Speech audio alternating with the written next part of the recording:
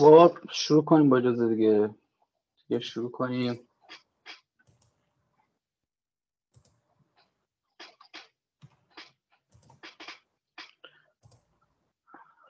خیلی عالی. برو بسم الله. خب. من این بگردم این بگردم خب. صفحه رو شیر کنم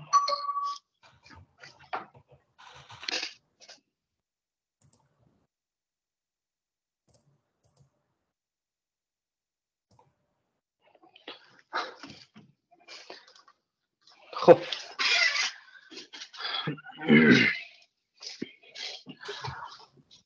آقا صفحه منو داری؟ من تصویر خودم بله. کنم که بله بله عالی بچه که داخل ایران هم هستن تصویر منو دارن؟ همه چی اوکی تصویر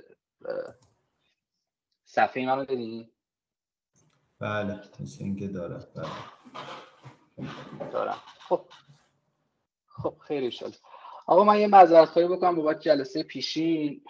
کرونایی رو بازم گرفتم در چهل و سوم فکر کنم کرونایی بود که گرفتم. دیگه نشد. جلسه قبلی. خب در این جلسه می‌خوایم کلا در مورد load balancer صحبت بکنیم. load balancing در واقع high available بودن و scalable بودن می‌خوایم صحبت بکنیم. کلا load balancer از اون مباحثی که خیلی کوچیکه ولی خب خیلی بزرگه. یعنی در این حال که کوچیکه خیلی شاخه‌های زیادی درش هست.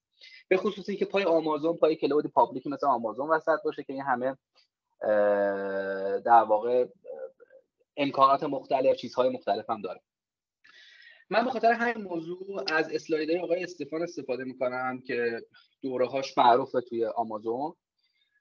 دوره مختلفی داره. حالا مثلا برای Solution Architect یا حالا در واقع Developer Association یا حالا هر دوره دیگه ای که در واقع توی آمازون هست ایشون حالا جزء در واقع معروف تریناست به خاطر اینکه خودم می‌خواستم اسلاید درست بکنم دو دلیل داشت. یکی که من خیلی تنبلم قطعا درست نمی‌کردم.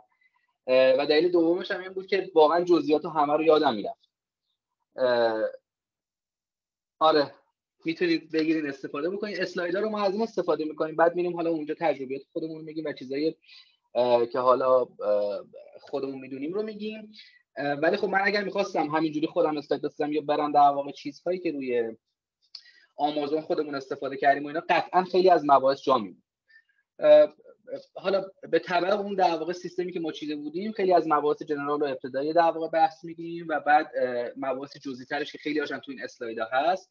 خیلی جزئی چیزی داره لود بلنسر سعی می‌کنیم حالا پوششش بدیم دیگه. حالا نمی‌دونم برسیم نرسیم چجوری بشه اینا. از این حرفا. من فقط بازم باید برم اینور صفحه‌مو چون باید لاگین بکنم.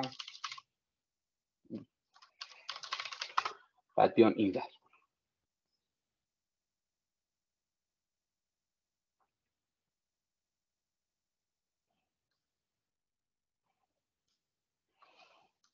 من صفحه میارم جلوی شما که ببینید. اینترنت مملکت چجوریه؟ هنوز من نمی‌دونم می‌دونم آمازون لطف بکنم. آها. خب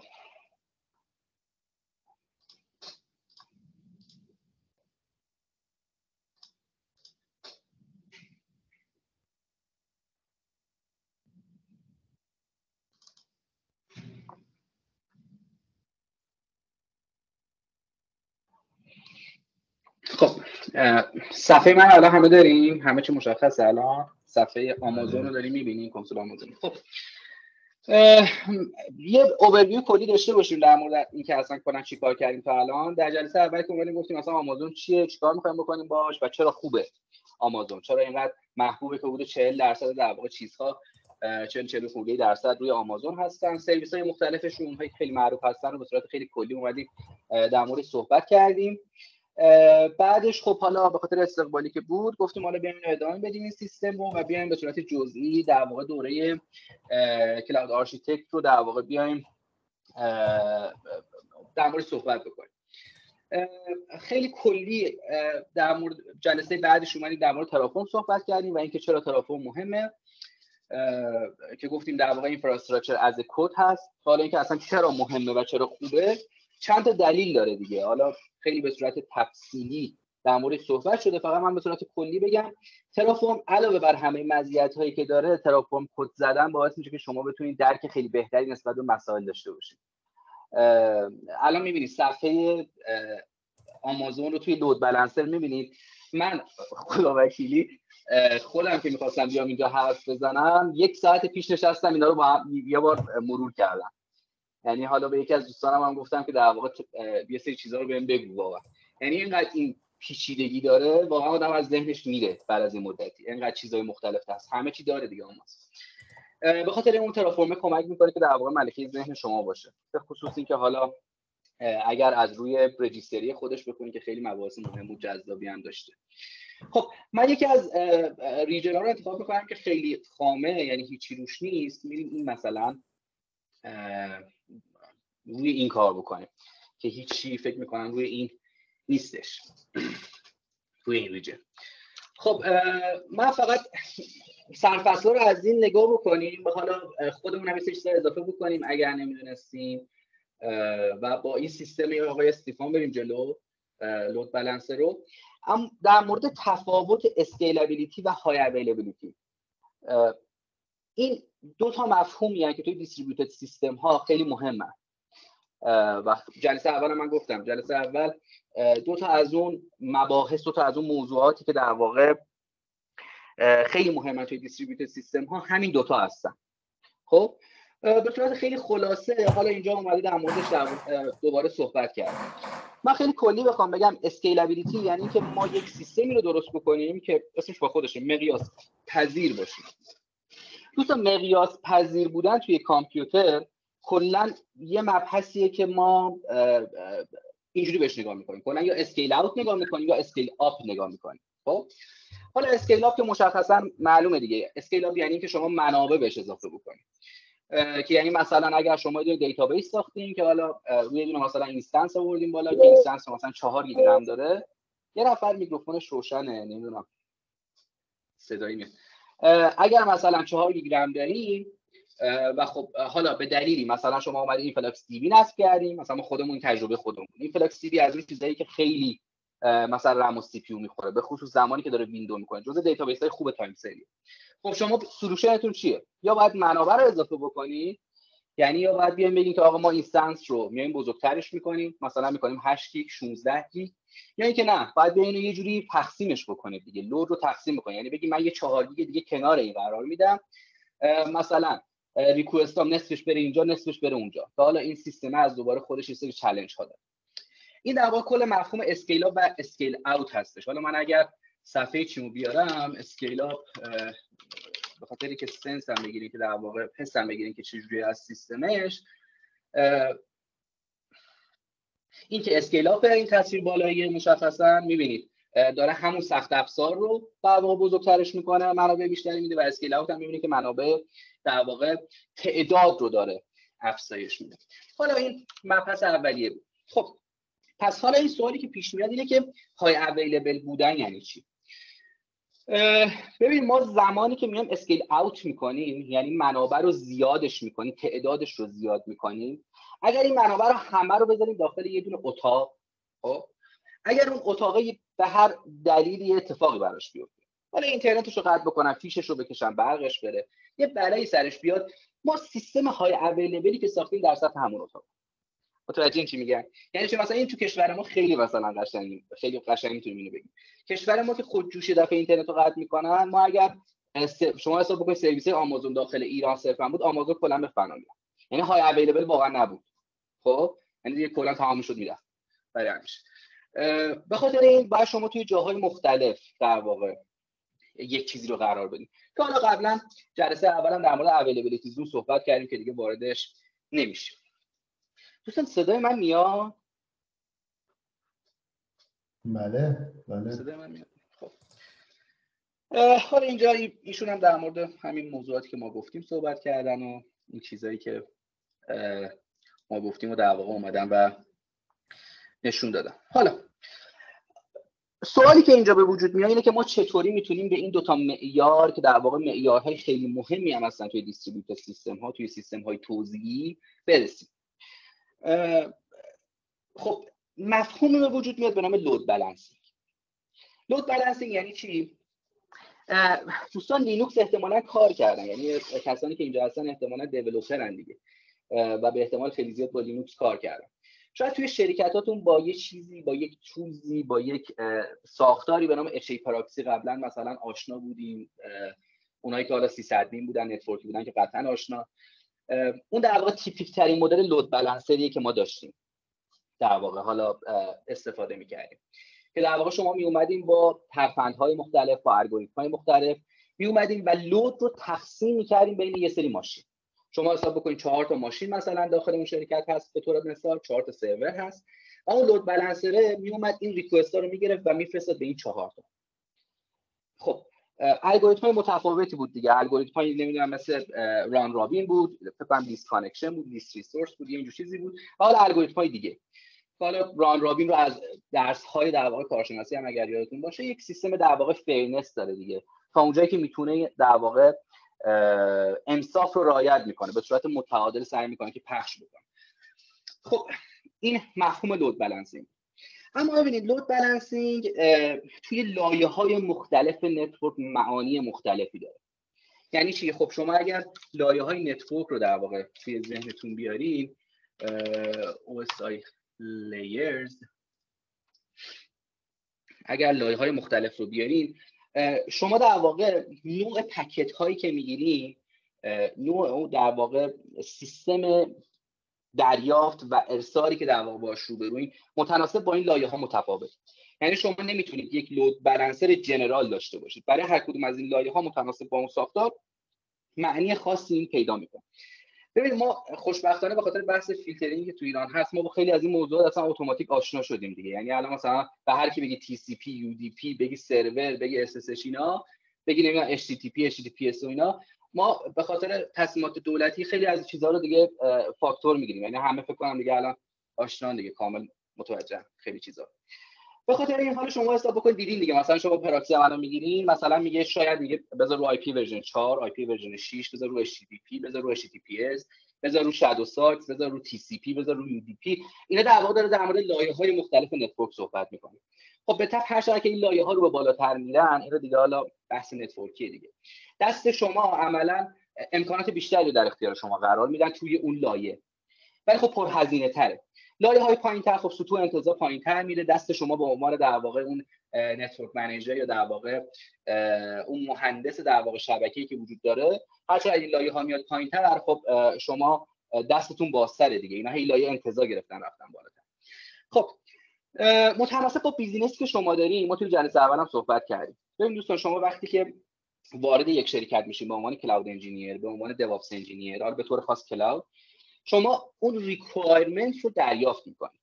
requirement یعنی چی؟ یعنی که شما میشینید صحبت می‌کنید با مدیرای اون شرکت با اون lead های اون شرکت. مثلا من خودم اینجوری هم که میرم report ها رو نگاه می‌کنم. اگر مانیتورینگ داشته باشم میرم مانیتورینگ رو نگاه می‌کنم. اگر آدمایی وجود داشته باشن که دید منتقد دارن قطعا باشون صحبت می‌کنم. خب؟ شما یه سری اطلاعات می‌گیرید. مثلا ما اگر داریم توی شرکتی کار می‌کنیم که مثلا ما business مون business IoT بود. اگر میان صحبت می‌کنیم چالش ها چیه؟ مثلا به من میگن چالش چالش network می‌خوایم network کم هزینه باشه. کم هزینه بودن توی network یعنی چی؟ یعنی مثلا بسته ها قرار نیست اینقدر مثلا بسته های لایه هفت رو ما ارسال بکنیم. خب؟ پس لود بالانسرمون شاید نیاز نیستش که مثلا HTTP باشه. شاید نیازه که مثلا MQTT باشه. خب؟ شما باید به عنوان اون کلاود انجینیر شاید خیلی از این چیزها رو بدونید بتونید تصمیم خوبی رو بگیرید. اگر تصمیم اشتباهی بگیرید در واقع می‌بینید که هزینه در سطوح مختلف شرکت تحمیل میشه. خب حالا ما بریم اینجا. من این اسلاید رو من به خاطر اسلاید ها مثلا نمی‌دونم دستم در میاد انقدر این موضوع رو. نمی‌دونم کجاش باید بگم. خب. مشخصا این در واقع یک موضوعی هم من بهتون بگم. شما وقتی لود بالانسر دارین عملا دارین با یه نفر حرف می‌زنید و در واقع این سکیوریتی سیستم شما رو هم می‌بره بالا. یعنی چی؟ یعنی شما به صورت مستقیم دسترسی به ماشین هاتون رو از دنیای بیرون می‌تونید قطع بکنید عملا. خب؟ و در واقع یک لایه private ی بین این دوتا در واقع بین لایه load balancer شما و لایه ماشین های شما که حالا در واقع با target group حالا بعدا آشنا میشیم می‌تونید ایجاد بکنید. خب؟ و با این کار شما عملا یک موجودی رو دارین که شاید خیلی هم به درد طرف نخوره. حداقل یه لایه امنیت رو بردیم بالا. خب؟ این هم یکی دیگه از قابلیت هایی که در واقع load balancer می‌تونه به اون بده. خب. دیگه آه. همین اکثر از دوباره نگاه بکنیم. شاید یه سوال براتون پیش بیاد که اصلا لود بالانسر خودش چطوری کار می‌کنه. حالا میریم جلوتر. اینو به طور خاص بهتون نشون میدیم که چطوری کار می‌کنه به طور جزئی موضوعاتش رو نشون میدیم. اما لود بالانسر همونتون اچ ای پراکسی اگر داشته باشین شما می‌تونید یه دونه در واقع سیستم هلت چکینگ بذارید این یک قابلیت که توی همه در واقع لود بالانسر رو وجود داشته باشه. به طور به طور در واقع توی یک فواصل زمانی مشخصی شما تعیین می‌کنید که به ماشین های شما درخواست بده. به یک روت خاصی. حالا این دیگه توی اون سیستم و پالیسی شرکت معنی پیدا می‌کنه. معمولا هلس در واقع یک روتیه که خیلی مشخص. شما فرض کنید 5 نفر آدم دارین. اینجوری تصور بکنید سیستم لود بالانسینگ رو. 5 نفر آدم دارین که این 5 نفر مسئول پاسخگویی مثلا به یک مثلا به یک مثلا شما 118 رو تصور بکنید سیستم 118 شما اولش که در واقع شماره 118 رو می‌گیرید این شما رو وصل می‌کنه به این نفر از اونها به نفر از اون client ها این همون سیستم load balance ه اونی که در واقع شما رو وصل می‌کنه اون داره load balance می‌کنه. در واقع داره بین اونها ارسال می‌کنه.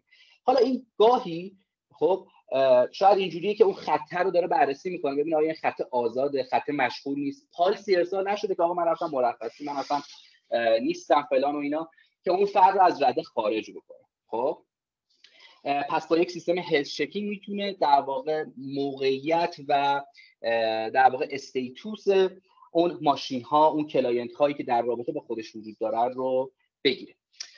که حالا میریم جلوتر می‌بینیم health checking ش هم در واقع چجوری هستش. خب. ببینید چهار یک دو سه چهار پنج تا تعداد مدل load balance چند تا؟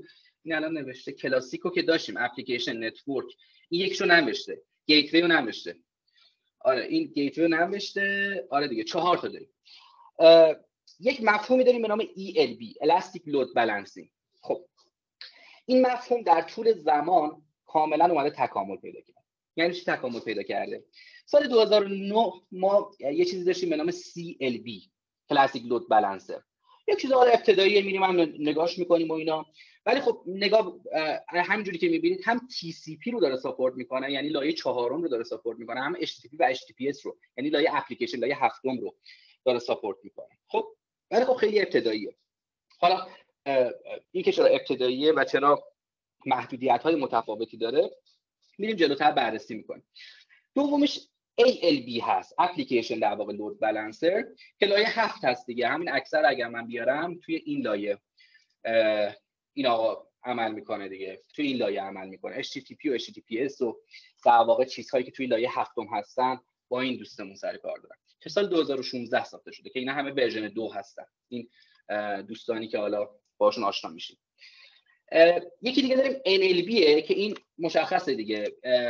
از همین پروتکل هایی که در واقع داره support می‌کنه TCP و UDP و اینا شما متوجه میشین که احتمالا لایه transport داره چهارم در واقع OSI رو داره support می‌کنه. یکی دیگه هم هست این پسره نوشته این استفان یه GLB هست gateway load balancer که در واقع لایه سوم رو میاد و مدیریت می‌کنه لایه network رو. یعنی زمانی که شما می‌خواید packet رو باز بکنید مثلا می‌خواید یه سری کارا روش بکنید. مثلا می‌خواید فیلترینگ درست بکنید. سانسور می‌خواید بکنید از این GLB می‌تونید استفاده بکنید که فیلتر بکنید. خب بریم حالا دونه دونه با هر کدوم از اینا آشنا بشیم. خب بریم مثلا از CLB شروع بکنیم دیگه بریم عملی با هر کدوم از اینا آشنا بشیم. من فقط هر از گاهی باید بیام PD رو نگاه بکنم. که ببینم چیز خاصی رو جا نندازم دیگه. خب بریم CLB رو که این دوستمونم داره رو با هم دیگه آشنا بشیم. خب یه دونه ریژن جدید رو من انتخاب کردم. یکی از ایالات یکی از ایالت های ایالات متحده. و حالا میریم و ببینیم می‌خوایم چیکار بکنیم. من یه دونه EC2 سرچ می‌کنم. در دقیقه طول می‌کشه. یه چیزی بیاد.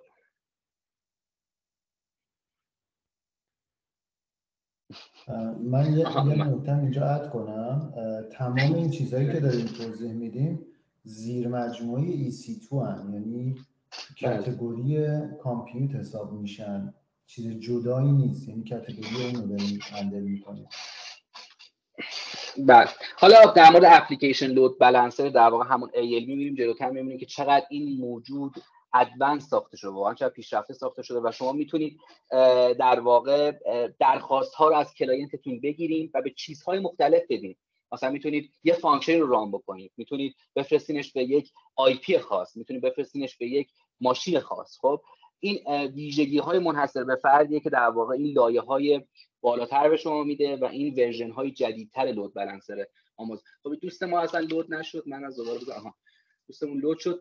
من توی همون در واقع سیستم کامپیوتینگ که فرمودم این لود ها جزء اونها هستن.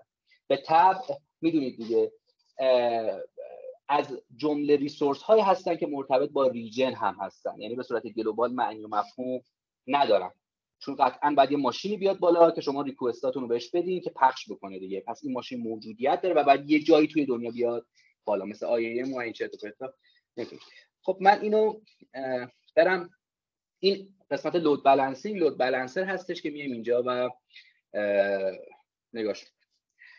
خیلی اینترنت من عجیبه. من فکر کنم من اینترنتم تازه خوبه. جز خوبا سلام درست نیست یعنی فکر کنم الان یه آمازونی بزنیم شما یه آمازون اصلا لود می‌کنه سفر رو خب.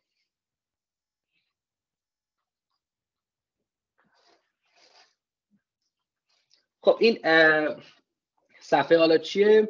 من فقط یه دونه EC2 برم یه سری instance بسازم به صورت خیلی دورهمی. خب. بریم launch instance. دوستان این صفحه در واقع ساختن ماشین های مجازی آمازون بود که قبلا هم در موردش صحبت کردیم دیگه. خب. در وهله اول شما باید اسمش رو انتخاب بکنید من مثلا اینا رو همه چیزهایی که امروز می‌سازم رو با کلمه وبینار شروع می‌کنم و دش چیزهای دیگه. وبینار مثلا یک ماشین اولم یا وبینار یک یا مثلا وبینار EC2 یک مثلا. خب آمازون لینوکس رو انتخاب می‌کنیم که رتتی هم هستش و می‌خوایم توی در واقع free tier ش باشیم. نیاز به چیز خاصی نداریم. pair ش رو مشخص می‌کنیم من اینم می‌ذارم. نا create pair خب security group ها رو من به طور خاص در این یکی میگم که create بکنه و بعدی ها رو میگم از این استفاده می‌کنم. یا می‌تونم اینجا برم حالا خودم درست بکنم ولی خب حالا دیگه صفحش اینجا نیست. خیلی ساده می‌خوایم به مسئله نگاه بکنیم دیگه. می‌خوایم همه بتونن با این ماشینمون حرف بزنن. پس ما همه تیکا رو می‌زنیم. SSH رو که می‌خوایم داشته باشیم پورت 22 رو HTTP و HTTPS 80 و 443 هم که می‌خوایم داشته باشیم دیگه. ماشینمون می‌خوایم که در واقع پورت های در واقع صحبت کردنش پورت های HTTP و HTTPS باز باشه دیگه. یه security group براش درست می‌کنیم که قبلا صحبت کردیم. یک ش... نمی‌دونم میشه بهش گفت فایروال شاید آره شاید بهترین کلمه همون فایروال باشه. یه فایروالی که بهش attach میشه. که در واقع ارتباط این با دنیای بیرون رو مشخص می‌کنه. storage ش و اینا رو که کاری نداریم. من یه دونه user data ی هستش. این من اینو بردارم بیارم. Httpd amazon linux. user data هیست. خب. اینو به صورت typical استفاده می‌کنن. حالا اینکه این چیه این دوستمون. ببینید شما user data در واقع یه اسکریپتی هستش که شما در مرحله ای که در واقع ساخته میشه بعد از اون سریع اینو اجرا می‌کنن. خب؟ اگر اینو بخوایم به داکر تشبیه بکنیم مشابه چه به نظرتون مشابه چه کامندیه؟ یکی جواب بده ما از این دنیای تک نفر صحبت کردن بیایم بیرون. خستشم رفت زدم. خب. یکی حرف بزنه دیگه. اکزیکیوت نه.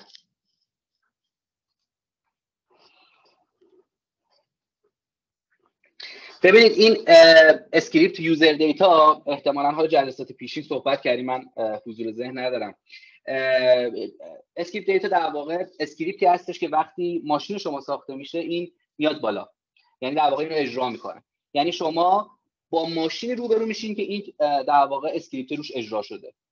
بله این معادل خب من فقط یه چیزی هم اینجا بهتون یاد بدم. من خودم یه اخلاقی که دارم اینه که وقتی می‌خوام user data رو بنویسم حالا یه زمانی که EC2 داریم و اینجور چیزا داریم که خب حالا با همون سیستم connect و اینجور چیزا میریمش وصل میشیم و اجرا می‌کنیم دیگه. یه زمانی که اونه دسترسی داریم. ولی یه shell ی داره این آمازون پسر آمازونی کلوچره خب یه دونه در واقع آمازون لینوکس رو به شما میده. یه آمازون لینوکسه من خیلی از این چیزایی که در واقع می‌خوام اینجا بزنم رو میام روی تست می‌کنم. خب مثلا الان ما حالا اینو کپی کردیم آوردیم دیگه. مثلا حالا HTTPD می‌خوایم نصب بکنیم اسم پکیجش چیه؟ یا حالا هر چیز دیگه که می‌خوایم نصب بکنیم. و در واقع میام تستش می‌کنم. یه محیط تست خیلی کوچیکه خیلی هم سرراسته دیگه این دوستمون. نگاه بکنید اینجوری به شما یه چیزی رو میده دیگه. که حالا من yum update من چرا تایپ نمی‌تونم بکنم؟ yum update. خب این sudo و همون سیستم در واقع پیشینه. فقط می‌خوام بهتونم یکم حس بدم که چجوری این کار می‌کنه دیگه. اینو داره آپدیت می‌کنه بعد میاد package رو نصب می‌کنه دیگه. حالا package HTTPD رو اگر من بیارم میشه yum search HTTPD و احتمالا با sudo هم باید بگردیم دنبالش. خب این چیزایی که در واقع هستش دیگه آپاچی HTTP رو ما می‌خوایم HTTP سرور رو می‌خوایم در واقع نصب بکنیم که اسم package ش هم به طور خاص این چیزیه که در واقع برای CPU اینتل 64 بیتی ساخته شد که حالا نصبش می‌کنیم و اینا. یا حالا command ایی رو اگر می‌خوام حالا بش اسکریپت بنویسم و اینا میام تو این run می‌کنم دیگه. الان مثلا این پسر hostname و بزنیم. این چیز دیگه. این کوچیک این می‌دونی مثل چیه؟ مثل اون slim ه. در واقع داکرای slim یه که توی چیز هم استفاده می‌کردیم. توی داکر هم استفاده می‌کردیم. خیلی از package ها رو نداره. yum install مثلا hostname خب sudo yum install hostname hostname ببینید اسمش رو برمیگردونه. hostname dash f که اسمش رو برمیگردونه. و dash هم که IP در واقع این ماشین رو برمیگردونه. حالا به خاطری که بدونین این داره چیکار می‌کنه. داره در واقع hello world رو به علاوه این می‌کنه و توی در واقع اینو می‌ذاره. حالا دیگه بقیش دیگه. آپاچی دیگه. خیالی خب بریم اینو ران کنیم. دوستان تا الان اگر سوالی توی این موضوعات داریم بگین که منم یکم نفس بکشم یکم استراحت بکنم تا این ران میشه. چون به تب یکم طول می‌کشه دیگه. پندینگه.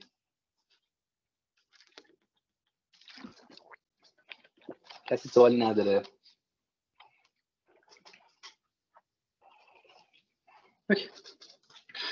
خب این که رفت توی حالت pending منتظر میمونیم حالت running شد ولی خب فعلا status check ش یعنی نشون میده که این هنوز بالا نیومده مثلا سرویس network و مال کدوم باشه این این باشه مال bash نوشتی چی نوشتی؟ bash ه؟ خب مال کدوم ماشین بود؟ من نمی‌فهمم سوال تو. آها این بالاه. این صفحه bash اینه. اینجا رو می‌زنی این میاد بالا. بهش میگن کلاود شل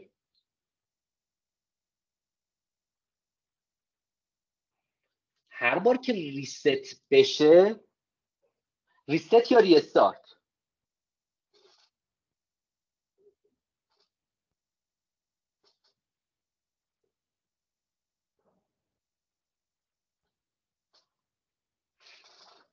حالا سوال تو بعدا بمیس نگاه می‌کنیم okay. این دوستان فکر می‌کنم دیگه الان بر حسب تجربه هنوز initializing IP valid داری؟ IP valid منظور چیه؟ IP static رو داری میگه elastic IP رو داری میگه IP valid رو ما اون میگیم. اگه IP IP elastic اصلا تغییر نمی‌کنه. شما IP elastic رو می‌سازی فکر کنم چقدر بود؟ قیمت IP elastic تو چیز آمازون؟ یه دلار بود؟ چقدر بود ماهی؟ فکر کنم دو سه دلاره. این دوستمون این IP عادی که add کرده restart که می‌کرده عوض می‌شده. شما باید elastic IP attach کنید تو EC2 اگر می‌خوای عوض نشه.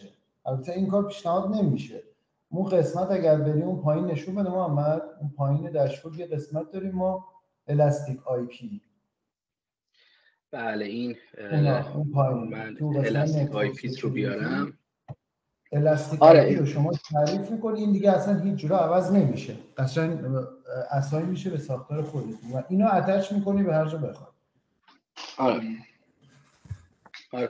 این حالا سوالم پرسیدی سیستمش اینجوریه. یه دونه حالا می‌سازی allocate می‌کنی یه دونه بهت میده توی اون availability zone خاصی که داری که حالا می‌تونی مشخص بکنی.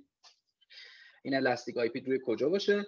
بعد یه دونه اینجا اینجور چیز می‌سازه. من الان من بسازم. نمی‌دونم در لحظه ساخت پول می‌گرفت ماهیانه پول می‌گرفت یعنی on demand بود. نمی‌دونم چجوری بود. ولی خب می‌سازی بعد اون actions رو می‌زنی. بفهم. این چیز داره. associate elastic IP در چه مواقع این elastic IP استفاده میشه؟ زمانی که شما IP static بخوای دیگه. همون IP static هست شما. خب ببین شما خیلی زمان ها هست. خیلی زمان ها شما IP static می‌خوای به هر دلیلی. خب؟ مثلا مثلا ما کار می‌کردیم ما با یه بانک کار می‌کردیم یه جا به ما می‌گفت فقط IP قبول می‌کنم یعنی domain قبول نمی‌کنم و فقط به اون IP هم من data میفرستم. سیستم firewall شون اینجوری بود. مثلا ما فکر کنم NLB آوردیم اگر اشتباه نکنم چون NLB elastic IP می‌گیره ALB نمی‌گیره. اگه حضور ذهن داشته باشم درست. فکر حالا باید برم جلوتر یادم نیست. ولی ما یادم چون ما business اون NLB بود و اون elastic رو دادیم به NLB و اینا با اون load balance معرفی بفهمم من یه نکته اینجا بگم. ببین چه, چه زم این elastic به چه دردی می‌خوره؟ تو حالت عادی. اگر شما VPC درست کنی خب gateway ت باید از elastic IP باشه. که به هر availability zone ت یه دونه elastic IP add بکنی که زمانی که اینترنت رو می‌خواد EC2 ات ببینه با اون IP می‌بینه. یعنی در از IP expose ت میشه. میگن مثل اینکه الان شما می‌زنی رو ماشین مثلا تو خونه می‌زنی my IP یه IP بهت نشون میده. خب؟ این IP IP که تو از طریق اون اینترنت رو می‌بینی دقیقا با همون concept اینجا هم هست. شما به VPC باید به availability zone IP attach کنی که بتونه اینترنت رو ببینه طبق IP. بله متوجه. مثال از دوستان محمد مثلا مثلا عملیش از جای چیزای دیگه زد خب چیزی که شما گفتید خود خیلی متشکرم. ممنونم. خب ببین بچه این اومد بالا. حالا HTTP شما می‌بینید که در واقع همون چیزی که در واقع شما می‌دیدید اون بخش script اجرا شده. یه دونه در واقع Apache web server برای شما آورده بالا و داره اینو سرو می‌کنه دیگه اینو به شما نشون خب این از این دوستمون instance ه. خب حالا ما یه دونه دیگه هم بسازیم.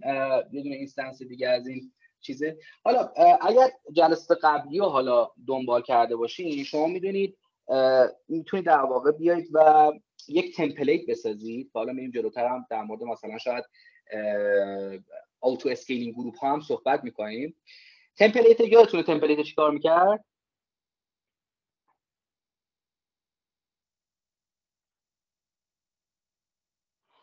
من در رابطه با OpenStack اون چیزی که یادم با floating IP فرق می‌کنه اون سوالی که شما پرسیدین. ولی یادم نیست OpenStack خیلی وقت پیش. من تز ارشدم بود. دوستان در مورد template EC2 ها یادتون هست چی بود در واقع سیستم؟ اصلا چرا این کار می‌کردیم template خب به چه دلیلی این کار می‌کردیم اصلا به چه کارمون میومد خب دیگه چی؟ دلیلش چی بود؟ الان داریم می‌ذاریم. خب داره همتون یه مشترک میگین دیگه. چه حالا اون auto scaling group چه در واقع اینکه بتونیم ازش بسازیم. همش یعنی چی؟ یعنی می‌خوایم چی رو در واقع مدیریت بکنیم؟ یه کاربرد می‌تونیم بهم بگیم کاربرد عملی. چون یکم فضا فضا عملی بشه تئوری نباشه همه چیز. اتومات باشه.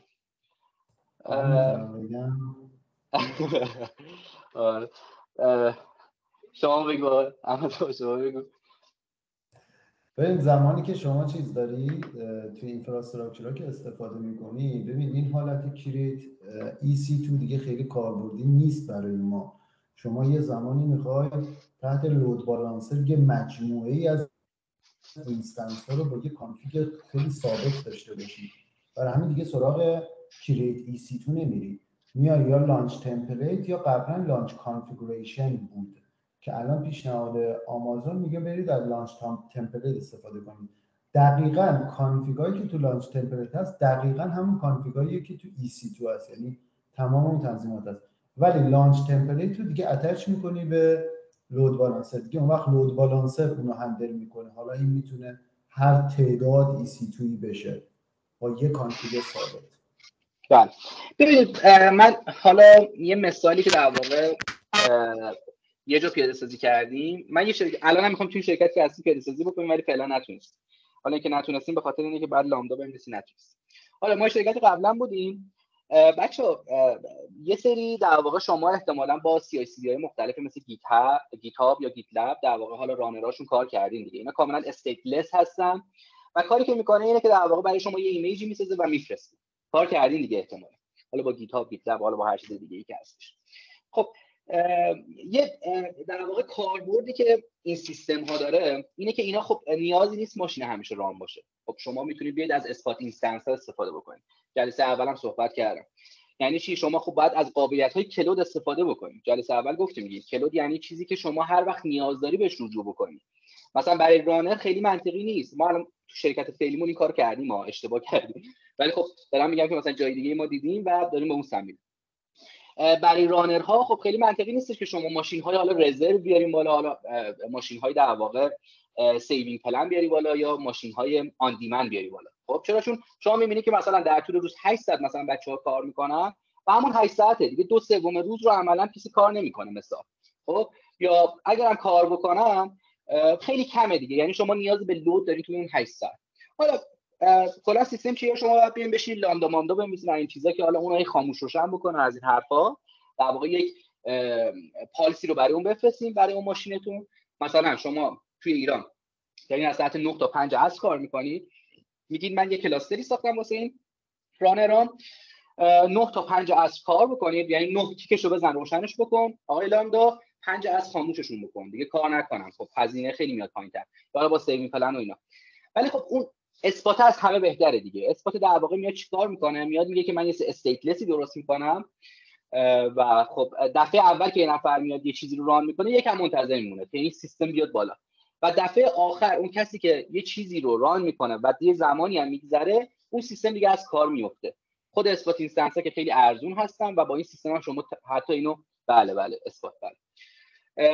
تونسته خیلی هم مدیریتش بکنه. خب حالا این سیستمی که در واقع من گفتم template ه به درد اینجور موقع می‌خوره. چرا؟ چون شما همه اون ماشین هایی که میاد بالا نیاز داره که یک template مشخصی روشون باشه دیگه.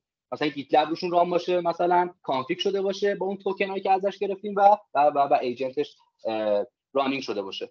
خب شما می‌تونید بیاین با همین template بزنید همون لحظه خودش بیاد بالا. یه template ی بگیریم و همه اینا رو اونجوری بیاریم این یه مثلا کاربرد عملی بود که مثلا از تمپلیت ها استفاده می‌کردیم ما برای حالا جای دیگه هم که قطعا استفاده میشه. خب حالا ما یه دونه داریم. بریم یه دونه لود بالانسر من بگم یکیشون ALB رو CLB رو بگیم که قرار بود جنرال صحبت بکنیم چون 45 دقیقه شد. بریم یکم از DNS هم بگیم یه 5 دقیقه 10 دقیقه دیگه حالا بعدش بریم دیگه چیز تفصیلی تر بگیم دیگه. خب اینجا که load balancer می‌نویسیم. بچه خیلی خوبه دیگه این کلا سیستم documentation در واقع آمازون دیگه. می‌تونیم واقعا ازش استفاده بکنیم توی موضوعات مختلف. الان این CLB یا در واقع همین classic load balancer رو اگر در واقع بیاریم بالاش هم نوشته دیگه. در واقع میگه نسل قبلی هستن که اینا حالا به نوعی deprecate شدن. ولی خب حالا ما می‌خوایم بهتون نشون بدیم چون ساده ترین مدل ممکنه در واقع load balancing همین چیزهایی هستن که الان بهتون نشون میدم. خب. یه دونه create و اینجا بزنیم. قرار شد naming مون در واقع با webinar شروع بشه و CLB دیگه classic load balancer اسمش هم اینجوری بذاریم. حالا شما می‌تونید داخل در واقع VPC تون هم load balancer بذارید که دیگه جاش الان نیست. حالا احتمالاً تو اون time بعدی صحبت می‌کنید در رابطه باهاش این هم مشخصا داره میگه دیگه. بله. ما من یه نکته بگم این صحبتات چون بحث spot و اینا رو گفتی که اون time اداری می‌تونی lambda تعریف کنی قبلا این feature رو آمازون نداشت. الان آمازون روی auto scaling ش feature اتوماتیک داره که شما می‌تونی با terraform قشنگ feature ش رو تعریف کنی scale down scale up کنه. مثلا بله. بگی آقا صبح scale up کنه بعد از ظهر scale down کنه دیگه تو این زمینه دیگه lambda نیاز نیست که پیچیدگی ایجاد کنه. بله بله. روش های مختلف در واقع اوتو اسکیلینگ سه روش مختلف رو اضافه کرد. بله. آمازون خیلی کامل شده قبلا این این حالا مشخصا داره میگه دیگه دوستان چی داره می‌کنه. لود بالانسر رو من این پسر کلکی رو بیارم بالا. ما رو این می‌کشیم. من بگم داستانش چیه. لود بالانسر رو یه موجودی تصور بکنید نگاه بکنید الان این چیزی که این داره میگه. خب یعنی این ور پورت 80ش باز باشه یعنی اون پورت ورودیش این پورت 80 این ورم پورت 80ش در واقع. یعنی این ورم که ماشیناتون بود دیگه. یه اینجور سیستمی رو داره میشینه یعنی ریکوست ها میان و این هم با پورت 80 با اینا حرف می‌زنه. یعنی هر دو طرفش با HTTP الان ما CLB داریم میچینیم که هر دو طرفش با HTTP می‌خوایم صحبت بکنیم. که قطعا شما HTTPS و در واقع TCP رو داریم که در واقع یک لایه دو سه layer پایینتره که layer در واقع چهارم هست که حالا می‌تونید یه سری کارا هم اینجا بکنیم. خب ما این دوتا رو هم بس کردیم. من این تصویر خودم جلوی این آیکون مایکون رو می‌گیره هر از گاهی. خب این در واقع security group در واقع load balancer هستش. خب شما می‌خواین چطوری باشه security group تون یعنی در واقع firewall ی که می‌خواین واسه خودش بچینید چی باشه؟ خیلی طبیعیه دیگه. شما میگین که می‌خوام HTTP رو به روی همه باز بکنم و از همه هم اطلاعات بگیرم. یعنی در واقع چیز بشه. HTTP رو باز بکنیم از anywhere. یعنی هر کسی می‌تونه اینو ببینه. خب؟ من اسم اینم بذارم از دوباره webinar. SG LB security group load balancer naming حالا از naming های typic convention های در واقع اسپوزاری تو آمازون اینجوریه. حالا این پسره داره میگه داری با HTTP همش بازی می‌کنی یا حالت خوبه مثلا SSL مثل SSL نمی‌خوای اینا؟ ما هم نمی‌خوایم دیگه حالا دمو داریم میریم جلو دیگه. خب این health check ه چجوری کار می‌کنه؟ health check ه همون سیستم است. یعنی شما load balancer تون وقتی بخواد بفهمه کدوم یکی از اینا سالمن باید به یه چیزی request بده دیگه به یه route ی request بده. خب؟ مثلا از طریق مثلا پروتکل HTTP به یک روتی request بده. اگر 200 برگردون حالا اونایی که اگر بچه ها من نمی‌دونم بعدا ببینم front هم یعنی اگر موفقیت آمیز بود یعنی اگر HTTP کدی رو برگردون که status OK بود. 200 200 اوکی دیگه. 404 و 500 خورده اینا نفرستاد پس یعنی چی؟ یعنی من سالمم. خب؟ حالا یک policy هم برای این سالم بودن آمازون تعریف کرده دیگه. یعنی چی؟ یعنی که شما اگه روشون هم بگیریم مشخصه دیگه. اولا چقدر منتظر بمونه؟ یعنی ریکوست رو میده چقدر منتظر بمونه که این جوابش بیاد؟ هر چند ثانیه ریکوست بده. من اینو میارم پایین به خاطر اینکه الان می‌خوایم حالا دلیلش رو بهتون میگم چرا این آوردم پایین. میگه اگر چند بار ریکوست دادم 200 نشد بگم این حالش خوب نیست. اینه. اون هرسیال میگه اگه چند بار request دادم حالش خوب بود بگم حالش خوبه. کل convention load balancing اینجوریه. من اینا رو کوچیک انتخاب می‌کنم. این پسری چی میگه؟ من اینا رو کوچیک انتخاب می‌کنم. به خاطر چی؟ به خاطر اینکه می‌خوایم به خاطر دمو اگه ما 10 تا مثلا بذاریم threshold مثلا برای healthy و interval ش هم بذاریم 30 ثانیه شما حساب بکنید مثلا 10 بار 10 تا 30 تا با منتظر بمونیم. یعنی 300 ثانیه 5 دقیقه با منتظر بمونیم تا این بگه هلسیه. متوجه این؟ چی شد؟ حالا این داره میگه این مثل که اینتروال اینو اگه 6 کنیم چی میشه ریسپانس؟ مسبی خب فکر کنم اینتر نمی‌دونم حالا بریم جلو ببینم یکی از اینا برام که کوچیک‌تر بود من یادم نیست خب اینجا شما می‌تونید این سنسر رو اضافه بکنید مستقیم به CLB یعنی اون ماشینه رو هم بگین که کدومه. این منوی که داره. خب؟ یا اینکه بعدا هم حالا میشه در واقع این کارو کرد دیگه. چجوریه این کراس لود بالانسینگ اینا رو برای چیز میگیم دیگه. اینم نیمش رو می‌ذاریم مثلا وبینار لود بالانسر اینم ریویو می‌کنیم و کرییت رو می‌زنیم. خب این ساخته شد دیگه. بریم این load balancer رو بیاریم. روش کلیک کنیم. صفحش رو بیاریم. این هایی که بهش وصلن رو در واقع میاره. اینم که availability zone توی تمام چهار تا در واقع zone اون ایالت آمریکا در واقع هستش. و این الان فعلا out of service ه بعد اون تعداد دفعه‌ای که گفتیم اون مثلا سه بار ما گذاشتیم. هر نمی‌دونم 5 ثانیه 4 ثانیه هم request بده. مثلا 15 ثانیه 20 ثانیه بکنم تا یه دقیقه طول می‌کشه دیگه. حالا این instance باید بشه ready تا ببینیم چجوری کار می‌کنه. مثل چیزا اینجا ببین. آها این همون چیزی که گفتم بهتون. که میاد از پورت 80 که در واقع HTTP بود به index میگه 200 برگردون با این سیستمی که مشخص کردیم دیگه. interval ش هر 6 ثانیه بود ما چرا جدی شدیم 6 ثانیه هم گذاشتیم؟ برای خودش یه مسئله اینا رو خب ما چرا نمیایم؟ مثلا بکنیم 3 و 2 مثلا اگه بشه. خب کمترینش 5 خب اینم بذاریم 4 دیگه. که برگردون حالا این instance فعلا out of service ه تا حالا ما یه سری دیگه هم اینجا نشون بدیم. listener رو مانیتورینگش رو مشخص می‌کنه مثل خیلی چیزای دیگه. اینا رو تو آمازون ببینید چجوری کار می‌کنه. و این خیلی باحاله. یه ماگریشن هم گذاشته که میگه این نسل قدیم ببرش به نسل جدید. فقط یه نکته هم بگم. دیگه کراسون و چیزای دیگه هم به درد این قسمت نمی‌خوره. این ببینیم این این سرویس شد. دیگه یعنی خط الان وصله. الان این یک سیستمی که اینجوری الان وصله و ما از بیرون هم می‌تونیم با این حرف بزنیم. از بیرون هم می‌تونیم با این DNS نیمه حرف بزنیم دیگه. اگر اینجا این DNS name ه رو بریم و وصل منطقا به اون ماشینه و ترافیک رو route بکنه به سمت اون. می‌بینید که route کرد. خب حالا بخوایم یه ماشین هم اضافه بکنیم خیلی ساده است دیگه. شما می‌تونید برید توی قسمت instances edit instance می‌تونید کم بکنید یا می‌تونید اضافه بکنید. این از این داستان. و همینجوری می‌تونید ماشین دیگه این پشته بندازین و اضافه بشه. همین کاره. ولی دارید دستی انجام میدین. حالا خیلی کلی بدونید که یه چیزی داریم به نام auto scaling group که شما می‌تونید اتوماتیک policy مختلف بشین اگه request بیشتر شد اگه CPU load ش بیشتر شد اگه فلان شد اگه روزمون فلان بود اگه اینجوری بود اونجوری بود می‌تونید بگین که برای شما ماشین اضافه بکنند یا کم بکنند این هم در واقع سیستم load balancing من برم سراغ DNS رو بگم اگه دوستان دیگه حالا بعدا این فیلم هم دیدن دیگه درگیر جزئیات نشم اونایی که دیگه در واقع نمی‌خوان. من اگر برش کنیم بریم همین خودمون بعد بریم. DSN نوشتم. DNS ARC خب دوستان یه سرویسی داریم به نام روت 53 یکی دیگه از سرویس های آمازونه که من بیارمش بالا.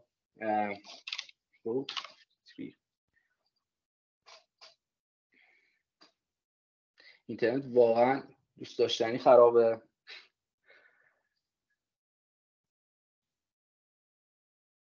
آقا اگر سوالی داریم در رابطه با چیزشون اینترنت فکر کنم رفتیم تو لوپ تا این بیاد بالا. سوالی داریم بفرمایید.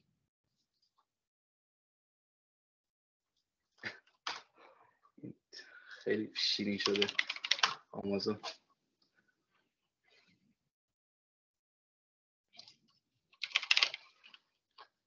آره. خب.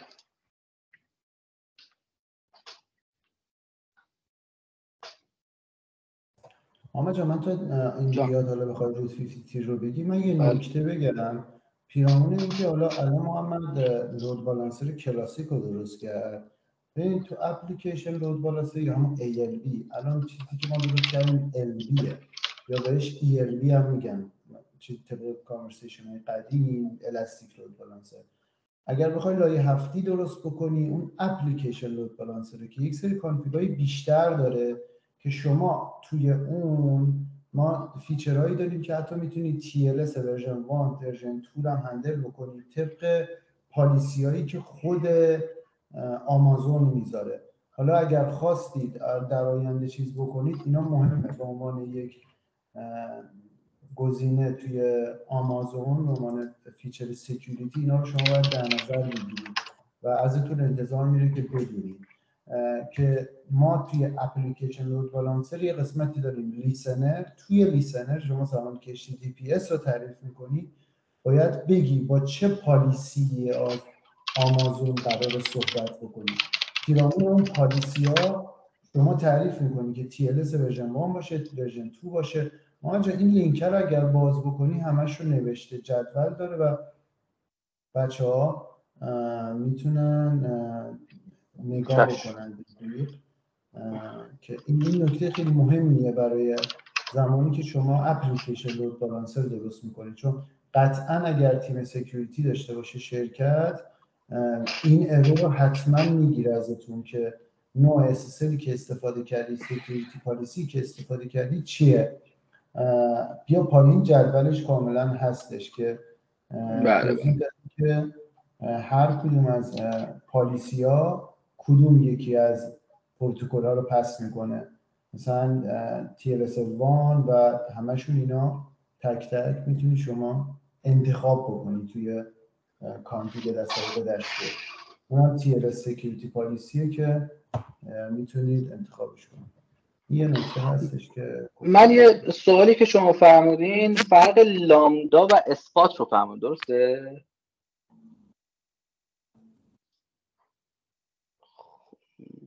سوال بچه ها صحبت خب ببین Lambda و Spot اصلا دو مفهوم متفاوته. یعنی چی متفاوته؟ ببین Lambda شما یک سیستمی داریم به نام serverless.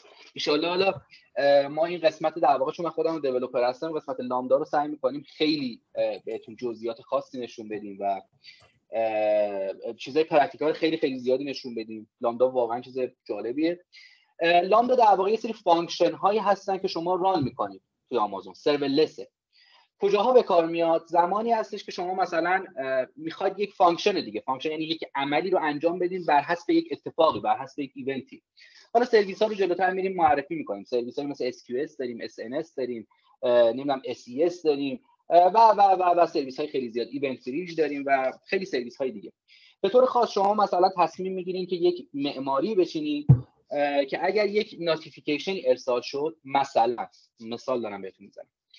اگر یک مثلا شما اومدین سیستم Publish Subscribe چیدین یک معماری Publish Subscribe چیدین میگین اگر این notification اومد می‌خوام مثلا یه چیزی رو run بکنم یک سرویس هم run بشه یک سرویس هم stop بشه یه اتفاقی بیفته خب؟ اینجور مواقع میاد از Lambda استفاده می‌کنید. چیزای کوچیک function های کوچیک سرویس های کوچیک رو میاد از Lambda استفاده می‌کنید. اما Spot یک نوع یک تایپی از instance های EC2 هستن. متوجه چی میگم؟ یعنی چی؟ شما ببین اگه جلسه اول فیلمش نگاه بکنید فکر می‌کنم انتهای اون جلسه صحبت کردید ببین شما یه زمانی یک سری ماشین می‌سازی دیگه. یک سری EC2 می‌سازی. این EC2 هایی که ما می‌سازیم بهش میگن on-demand EC2 خب یعنی بر اساس اون مصرف شما داره پول می‌گیره با یه هزینه base شما می‌تونید بیاید مدل های دیگه هم داشته باشید. ببین من اگه اینو باز بکنم بهتون نشون بدم. من یکی از اینا رو باز بکنم که چیه؟ اگه این EC2 رو باز بکنم شما این کناره بود من چرا رفتم باز کردم؟ آره. این ببین شما Spot داری Savings Plans داری Reserved Instance داری و Dedicated و اینا. این مدل رو صحبت کردیم. شما توی حالت در واقع Saving میگی من پولش رو میدم مثلا یه سری چیزات وجود داره. اسپات اینجوریه که یه سری من اینو بگم بعد جواب سوال شما میدم. اثبات اینجوریه که یه سری ماشین هستن اینا داره آمازون یه سری کارا می‌کنه دیگه باشون خب؟ مثلا همین لامدایی که شما فرمودین بر روی ماشین اجرا بشه دیگه. خیلیشون بیکارن خب؟ شما میگین من از اون ماشین بیکارات می‌خوام دیگه. هر وقتی هم که بخواد ازت می‌گیره. حالا شما دیگه در واقع می‌تونید پالیسی بچینین که تا چه حدی در واقع سختگیرانه بتونید برخورد بکنید با این موضوع که این دیگه روی بحث هزینهش در واقع چی میشه. گفتم برای کار stateless خیلی کارهای خوبی ان دیگه این Spot ها چیزایی که stateless هست خیلی خوبه. cloud ایرانی هم Spot دارم من ندیدم. دوست عزیز نمی‌دونم همه شما دیدین من ندیدم Spot instance ندیدم تو cloud ایرانی. ببین اصلا اینا کلا پیرامون چیز FinOps ه یعنی handle کردن cloud ا بر اساس cost ه. کلا من خیلی این زمینه رو توی سیستم های cloud ایرانی ندیدم چون اصلا شما خیلی feature های مختلف از این مجموعش بخوای نگاه کنید می‌دونی چی میگم؟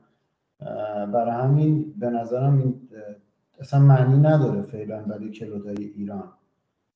چون اونقدر دست آدم باز نیست که تو بتونی مثلا cloud رو customize کنی بر اساس cost اینا بیشتر کاست بیسن امکان اسکیل داون و آپ اتوماتیک توی کلودا من پارس پک فکر کنم دیدم چه چیزی. الان دقیقا تو ذهنم نیست ولی فکر کنم داشت. حالا نمی‌دونم یادم هست درست قاطی نکردم با چیز دیگه ای نمی‌دونم حالا یادم نیست. حالا بعد نگاه بکنم بهتون بگم چجوریه. ولی خب دوستان ما مبحثی به نام کلود با معنی و مفهوم تو ایران واقعا نداریم دیگه. یعنی دوستان حالا همه سو کلود کرد. بعد حالا بریم من دی هم بهتون بگم دیگه. حالا اگر کسانی که دیدن حداقل یک ساعت اول براشون اون چیزای جنرال در واقع پوشش داده بشه. بعد بریم جزئیات طرح‌ها رو توضیح بدیم. ببینید سیستم کامپیوتر اصلا اینجوریه که با IP همه با هم کار می‌کنن دیگه. این domain ایی که شما دارین می‌بینید اصلا بی مفهومه دیگه عملا. یعنی بعد یه جا بره resolve بشه بعد تبدیل بشه به IP. کامپیوتر با IP با هم دیگه حرف می‌زنه. کسی که این وسط این کارا رو انجام میده بهش میگن DNS. که در واقع domain name solver system یه چیزیه. این کارا رو انجام میده. یعنی شما request میدین میگی من می‌خوام مثلا به گوگل وصل میگه IP ش اینه. خب؟ نه فکر کنم سیستم من الان که این ور کردم دیدم سیستمه. چون آر اینی که شما میگیم اسه بعد حالا لایه های مختلف وجود داره دیگه که حالا لایه های مختلف دامین وجود داره که حالا در واقع لایه روت هست که استاره TLD یا لایه در واقع تاپ لول دامین ها هستن که اونها دات کام فلان فلان و بهمان و اینا. یه چیزی شما میندازی تنگش میشه سکند لول دامین ها ساب دامین ها و هاستا که در واقع اون حالت در واقع جنرالی میشه که شما باش طرف. یه سرویسی آمازون داره به نام روت 53 که در واقع DNS ریزالور در واقع آمازون رجیستر دامین رو بهتون نشون میدیم. شما در واقع هر کاری که با دامین در واقع طرفین و هر خیلی با لود بالانسرتون مچه دیگه. یعنی می‌تونه هر کاری که با دامین طرفین رو می‌تونید با در واقع روت 53 که حالا سرویس خوبی هم هست باش انجام بدید حالا یک چیزی وجود داره به نام DNS Record Types در واقع شما وقتی که یک IP رو می‌خواید به یک domain یا یک domain رو به یک IP. یه ارتباطی با این DNS بخواید کار بکنید یه الف بایی داره این ریکوردان. رکوردی که وجود داره چیه؟ مثلا record A رو داریم quad A رو داریم CNAME رو داریم MX NS و اینو حرفا رو داریم که اگر گفتم ماشاءالله به لطف فیلترینگ دوستان فکر کنم همه مثلا الان دیگه قشنگ DNS رو بلدن. مثلا یه DNS ی به هم دارن می‌برن می‌زنن. این بر اونور یه domain ی میشه. بعد یه سرویس خارجی یه سرور خارجی می‌خریم با domain set می‌کنیم احتمالا با record A و این میشه مثلا اون پراکسی که شما برای خودتون می‌سازین دیگه. حالا مثلا CNAME ه میایم میندازیم پشت یه Cloudflare ی نمی‌دونم پشت یه چیزی. domain ه رو به اون یکی وصل می‌کنید اون پراکسی رو روشن می‌کنید کل سیستم پراکسی که الان هستش با همین DNS ها میان کار می‌کنن دیگه در واقع سیستمی که وجود داره. که حالا A IP می‌گیره IP رو به اسم وصل می‌کنه. quad A در واقع IP version 6 رو به اسم وصل می‌کنه CNAME دو تا اسم رو به هم وصل می‌کنه دو تا name رو به هم وصل می‌کنه و NS هم که در واقع namespace ها رو name server ها رو به هم دیگه وصل می‌کنه دیگه که level zero این داستان هست. مثلا 50 برای خرید register domain ش و اینا حالا جلسه بعدی سعی می‌کنیم در موردش بیشتر صحبت بکنیم. هزینهش گرونتر از جای دیگه است. مثلا شما از Namecheap و اینا بخوای بگیری خیلی ارزون تر میفته register domain رو اگر بزنی می‌بینی dot com 13 دلار داره می‌گیره. مثلا به دلار امروز حساب کنی زیاده. خب اگر دوستان سوالی در رابطه با این دو تا سرویس هست بفرمایید. اگر نه برگردیم بریم دیگه چیزای جزئی رو بگیم. من یه نکته دیگه در نکته آخر رو بگم. در مورد روت تیری اگر برید تو قسمت همون هاست محمد بابت نکنید تو روت 50 تیری شما می‌تونید دو تا کتگوری مختلف هاستون اگر باز بکنید دو کتگوری مختلف دی درست بکنید. یه دونه پرایوت یه دونه پابلیک. private رو می‌تونید برای دقیقا مثل همون ساختار قدیمی که توی شبکه های استفاده می‌کردید. شما دی local می آوردید بالا برای ساختار شرکتتون که ابزارهای داخلی شرکت روی اون DNS می اومد بالا دقیقا اینجا هم همین ساختار رو می‌تونید رعایت private تعریف کنی و public که public برای اینترنت هر دی توش add بشه از طریق اینترنت می‌تونی ببینی و private دقیقا می‌تونی private باشه. یعنی دی هایی می‌تونه تو private باشه که تو public نیست اما دی هایی که تو public هست 100 درصد تو private هست. چون همزمان می‌خوای شما اون public رو هم توی local ت ببینی هم توی اینترنت. اما تو private لزوما می‌خوای تو private ببینی اما تو اینترنت نمی‌خوای ببینیش. پس این نکته نکته بود که در مورد Route 53 گفتم می‌تونم بگم که رعایتش کنید بله اگر دوستان سوالی هست بفرمایید اگر نه بریم دیگه مباحث جزئی رو بگیم. یه نفر اصلا سوال بپرسه اصلا بالا یه چیز یه صدایی بیاد ما بدونیم جلسه آنلاین گذاشتیم به درد خورده آفلاین نیستش از برادر ما هستیم و این صحبت شما رو گوش بدیم. انقدر شیرینی که خیلی مخلصیم. نه بابا خیلی اما صدام هم گرفته از کرونا برگشتم. و شاید باورتون نشه کرونای بدی هم هست کرونا شدیده. من در افتادم.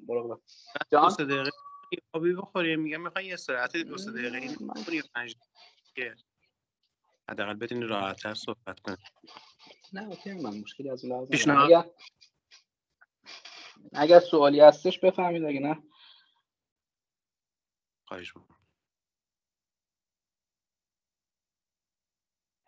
بله خب بریم ادامه داستان بریم سراغ دوباره این اسلاید این پسره استفان.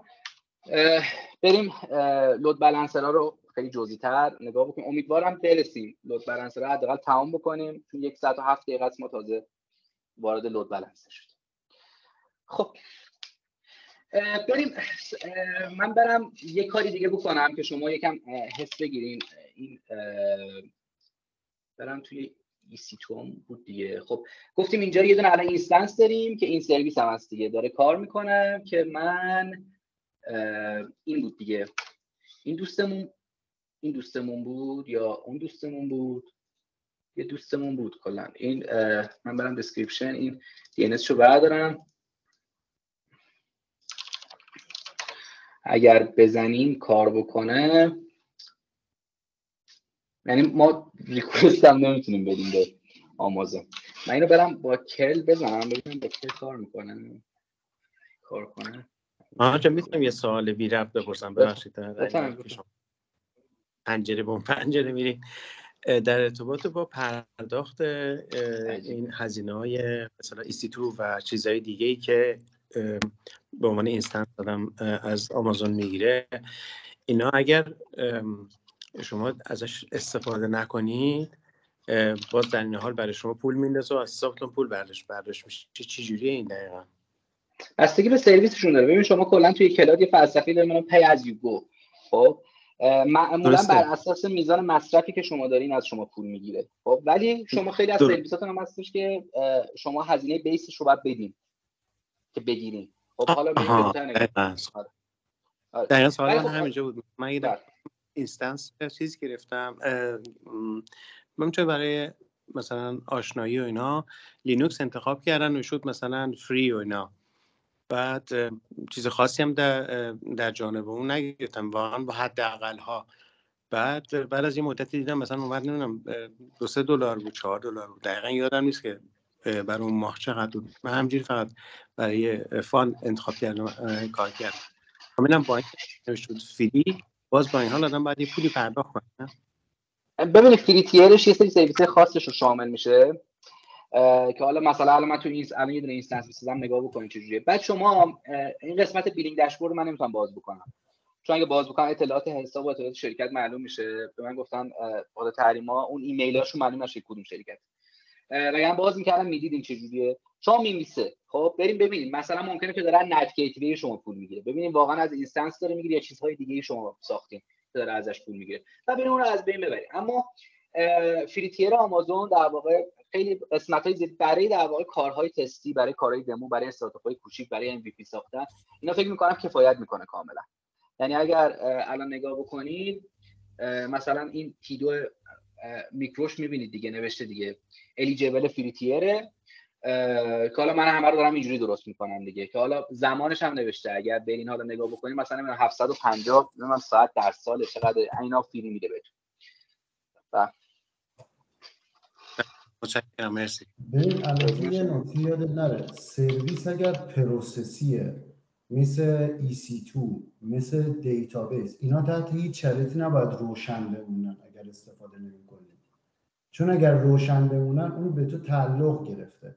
اما یه سری سرویس ها ترافیکیه مثل VPC خب وقتی تو VPC ترافیکی وجود نداره هزینه به تعلق نمی‌گیره. یه سری از سرویس ها حجمیه مثل S3 اگر حجمی توش نباشه رسما هزینه شما نباید بدید. اما سرویس هایی که process یه مثل EC2 مثل نمی‌دونم دیتابیس ها مثل EKS خب اینا اگر instance ی توش باشه که یعنی حتی روشن باشه و استفاده نکنی شما باید هزینه شو بدید. آها صحیح پس نکته داستان این بود. اوکی پس من رو نمی‌دونستم. فکر می‌کردم گفتم مثلا استفاده نمی‌کنم بس برای چی نه. از ما پول اصلا نباید. من میگم من همیشه بچه ها میگم یه نکته رو دقت کنید. اگر تجربه با cloud ندارید قبل از هر کاری توی billing برای خودتون bucket تعریف کنید. بهش میگن cost bucket که یادمه. دقیق اسمشو نمی‌دونم. budget فکر کنم. آره budget ه. که بهتون میگه که و بهش بگید. بگید اگه مثلا دو دلار شد بهم alert بده. به ایمیلتون alert میاد یا بگید اگر دو دلار شد stop کنه اون سرویس رو. خب؟ این feature ها رو حتما قبل از اینکه با cloud ا کار می‌کنید حتما برید یاد بگیرید که باعث نشه از این الکی پرداخت متشکرم. تشکر. من رفتم این ور سفر رو بردم و billing رو نگاه بکنم سفر رو بیارم و نشون بدم مثلا load نمیشه. خب برگشتیم به همون state خودمون خیلی سرسنگی این هنوز initializing. من اینو بگم اینو من بگم. تا یادم هست. آمازون انصافا توی ساختن EC2 خوب نیست. یعنی توی ساختن ماشین نسبت به خیلی چیزا مثلا DigitalOcean و اینا واقعا ضعیفتر. یعنی مثلا شما DigitalOcean فکر کنم نمی‌دونم زیر 30 ثانیه اصلا زیر 40 ثانیه چقدره؟ مثلا DigitalOcean ولی آمازون واقعا می‌بینی طول می‌کشه. یعنی initialize کردن و اینا نمی‌دونم اینا چجوری ساختن این سیستمشون با این عظمت یکم توی موضوع قشنگ ضعیفتر از بقیه مثلا حس می‌کنیم باش کار الان تو همه هم همینه. مثلا provision کردن load balancer طول می‌کشه. واقعا. یکم کنده. آریس ایکیس بالای نیم ساعت. حالا دیگه. آره سرویس های دیتابیسیش اینا که دیگه آره. اصلا های دیتا ساینس ببین هنوز اینیشیالایزینگ که اصلا چیز دوست خوبمون حالا این تا اینیشیال میشه من سوال شما رو هم یه جوری دیگه هم جواب بدم. شما باجت تعریف می‌کنید و باجتتون رو می‌تونید وصل کنید به یکی دیگه از سرویس آمازون به کلاود واچ در واقع یک سرویس alerting سرویس مانیتورینگ که اون سرویس می‌تونه به شما خبرهای مختلفی می‌تونه به سبک های مختلفی با شما در ارتباط بشه مثلا می‌تونه به شما ایمیل بده می‌تونه به شما می‌تونید به وصلش بکنید یه Lambda Lambda رو وصل بکنید به تلگرام اتومات بشه از این حرفا. یا اینکه می‌تونید نه اصلا تعریف بکنید که مثلا یه اتفاق دیگه ای بیفته نمی‌دونم اونو destroy بکنه یا از این حرفا. علاوه بر اینا یه سرویسی هست من اسمش رو یادم نیست نمی‌دونم یه چیزی لوک بود N U K E اتم فکر کنم. ببینم اگر AWS اگر آره. یه اینجور چیزی هست. ما اینو هفته ماه پیش ما باش آشنا شدیم کردیم. من نیده بودم. اگر یه زمانی مثلا می‌خواین همه چیزها رو پاک بکنه آمازون اینو نداره. یعنی شما برید دونه دونه ریسورس ها یه دونه سه، یه دونه ریجن رو پاک بکنید. من نیدم داشته باشه حداقل. مگر اینکه ترافورم زده باشه این این, این می‌تونه. نه کنارش هم تو اباوتش نوشته. مثلا نوشته who AWS account and delete all its resources. می‌تونه همه ریسورس های شما رو با یک کامند بزنه پاک بکنه. این خوبه. به خصوص برای زمانی که دارین تست می‌کنید بعد از یک کار تموم یه دونه اینا بزن یه اینتر همش میره بالا. یه پولم میره اینم از خب. بریم این پسره ببینیم.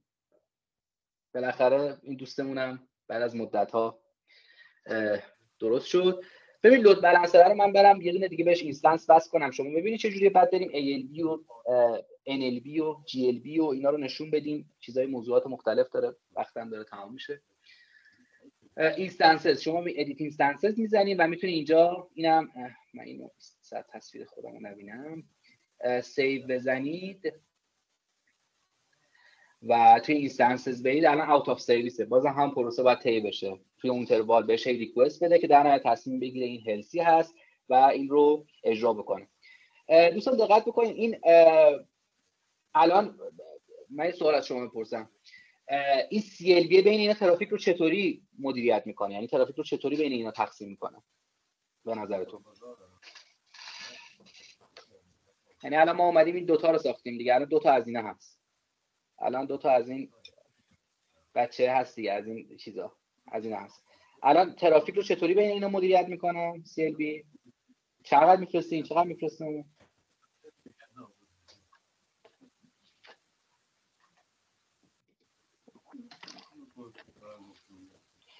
به نظرتون منطقی ترین گزینه برای کار شما چیه؟ چطوری تقسیم بکنم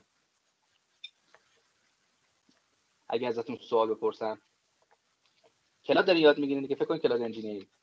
یکی در میون. دیگه چه سوالی؟ من حالا یه سوال دیگه بپرسم. اگر user X به این وصل شده شما ترجیح می‌دید دفعه بعدی به این وصل بشه یا به این یکی وصل بشه؟ یعنی مثلا user X شما route کردین اینجا. چرا به همون قبلی؟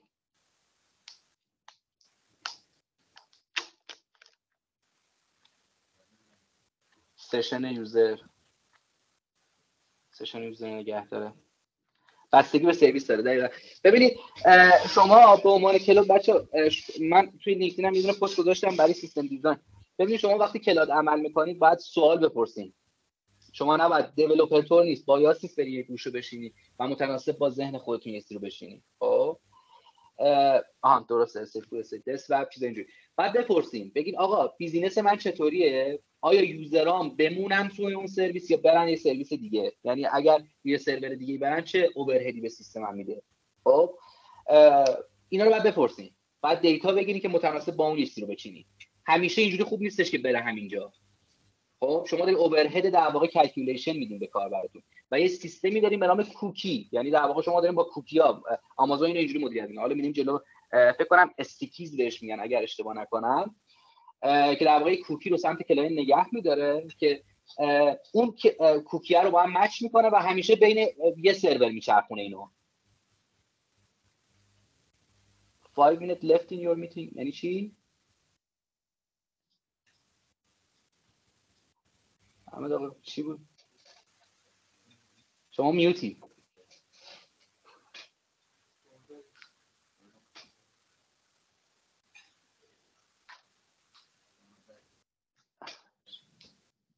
خب آره اینم business ی بود که حالا گفتیم بعد چجوری صحبت بکنیم.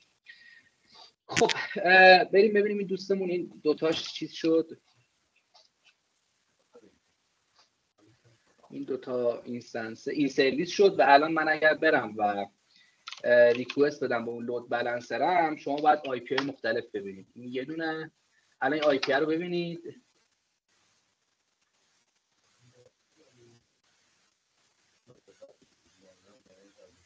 خیلی خرابه اینترنت دوستان. اصلا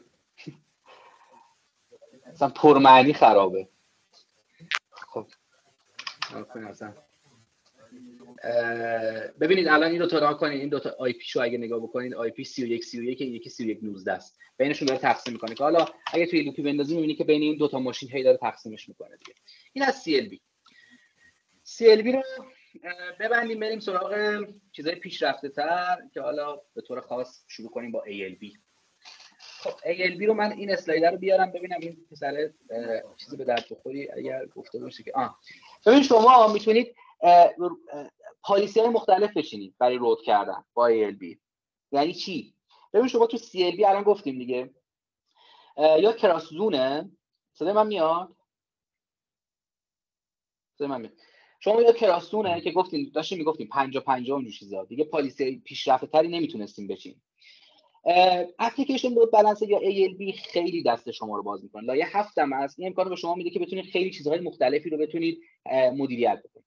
ببینید یعنی چی؟ مثلا ببین من توی شرکتی بودم بچه ها همون شرکتی که بودیم. ALB رو اینجوری چیده بودن که مثلا اگه توی path تون خب اطلاعات یه سری سنسورهایی که Apple Watch و این چیزا بود این چیز پوشیدنی خب Apple Watch و نمی‌دونم اندروید و این Xiaomi و این watch نمی‌دونم میتاچ می بنده چیه؟ از اینا data رو send میده data قلب و اینجور چیزا رو. خب؟ میفرستاد اینا یه سری کارا باش می‌کنن دارو مارو بهش می‌دادن خب؟ اون اطلاعات سنسوره رو اینا اومده بودن تو ALB شو چیده بودن که بره به یه سری جاهای خاص. یعنی یه سری ماشینا داشتن که نمی‌خواستن اصلا کلا می‌خواستن خیلی سریع اینا رو بگیرن مثلا یه سری کارا بکنن. خب؟ اصلا نمی‌خواستن latency بدن مثلا. خب؟ یا این گفته مثلا شما می‌خواین اپلیکیشن دارین و وبسایت دارین. می‌تونید بیاید اپلیکیشن و وبسایتتون رو جدا بکنید با ALB مثلا بگید اپلیکیشن هم برن به یه سرورایی اونایی که از اپلیکیشن میان وبسایت هم برن به یه سری سرورها خب؟ اینا رو همه رو با ALB می‌تونید انجام بدید که حالا با حتی با domain می‌تونید مدیریت بکنید خب؟ و خیلی چیزای مختلف. با query می‌تونید مدیریت بکنید و از این حرفا. میگه دیگه میگه حالا ALB همین که multi SSL یعنی حالا اون SNI یی که احتمالا دوستانی که network ی باش آشنایی دارن یعنی برای domain های مختلف می‌تونه SSL بچینه. همین که برای process های مختلف می‌تونه route بکنه خیلی مناسبش می‌کنه برای سیستم های microservice یعنی اگر شما microservice کار کرده باشین به احتمال خیلی خیلی زیاد ALB دارین کار می‌کنین. خیلی مناسب این کاره واقعا. حالا latency ش کم بالاست ولی خب امکانات چقدر زیاده که میارزه واقعا trade-off ش رو بری سمت خودش گفته دیگه آمازون ECS که حالا Elastic Container Service و Docker هست از این موضوع استفاده می‌کنن دیگه. ببینید الان نگاه بکنید میگه می‌خوام user ان برن به یه سری سرویس ها خب اونایی که با search اونایی که search می‌کنن برن به یه سری در واقع ماشین ها برن به یه سری سرور ها حالا دلایلش می‌تونه متفاوت باشه دیگه. دلایلش متوسط با اون business شرکت باشه. من دیگه نمی‌دونم چی نوشته این پسر حالا بریم خودمون بگیم دیگه. بریم دوباره بسازیم. webinar ALB خب اون کلیک کردیم. خب می‌تونید اینجا IP version 6 یا 4 بذارید یا جفتش رو بذارید که دیگه تنظیمات مشخصه. availability zone ها رو می‌تونید بگین. خود load balancer رو شما می‌تونید high available بکنید. یعنی توی zone های مختلف هم بذارینش. این هم بازم یه نکته خیلی مهمیه. ولی خب پر یکم هزینه شما رو برای یکم که بیشتر از هزینه شما رو برای بالا. حالا ما اینا همه رو بزنیم چون می‌خوایم بعدش دیگه بزنیم همه رو پاک بکنه. و اینجا میای چیزو میگین؟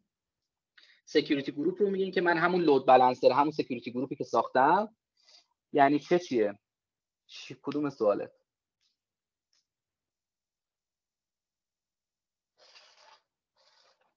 دوستان میکروفون رو می‌تونید باز کنید خیلی راحت صحبت بکنید اصلا نیازی نیست سختی بگید کدوم قسمت رو میگی؟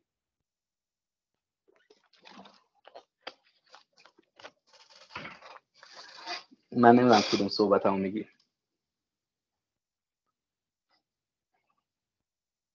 حالا میریم آخر سوال تو بنویس جواب میدیم این در واقع security group هست. حالا نوشتیم چی و داستانهای مختلف رو بریم اینجا. بریم این create target group خب. داستان چی داستان اینه که بچه ها تو CLB شما با ماشین ها مستقیم حرف می‌زنید. اینجا با یه چیزی حرف می‌زنیم به نام target group که مجموعه از ماشین هاست. یا مجموعه از چیزهای مختلف. ممکنه Lambda باشه ممکنه IP باشه و چیزهای مختلف. ولی با یک موجود انتزاعی صحبت می‌کنیم به نام target group خب. که همین یکی از ویژگی های در واقع سطح بالاتر ALB هستش. یعنی چی؟ یعنی اگر شما حالا ما اینو باز بکنیم پسر نکن اینا همه رو شما می‌تونید بهش بدید شما می‌تونید بفرستینش مجموعه از instance ها باشه این target group مجموعه از IP ها باشه این target group مجموعه از Lambda function ها باشه یا یه application load balancer دیگه باشه. خب؟ یه مثال عملی نفر می‌تونه من بزنه که کی به کار میاد که ما دو تا load balancer توی سیستم داشته باشیم. می‌تونه یه نفر بگه مثلا تو business شون استفاده کردن یا حالا اگر دو تا load balancer داشته باشیم یعنی متوالی گونه یکیشون بگیره بده به اون یکی. این مورد آخر که این دوستمون گفته.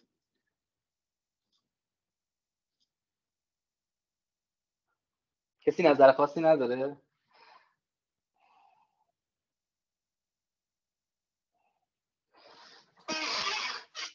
من سی کنم سیستم یه جوری شده بچه فکر من حرف بزنم یه مجازاتی چیزی الان دادگاهی میرن یه احتامی خب شاید خب بخاطر اینکه خب خیلی از بچه ها بخاطر اینکه تجربه هم ندارن پول میفته برامون اگر حرف بزنیم چی یه واقعا یه, یه نظری بدین جدی. اصلا یه چیز چرت و پرت یه نظری بدین ما یه صدایی بشنویم. کی پیش میاد به نظرتون که دو تا لود بالانس پشت سر هم دیگه باشن؟ سیستم چه سیستمی به نظرتون یکی لایه شبکه load balance کنه یکی لایه بله بله.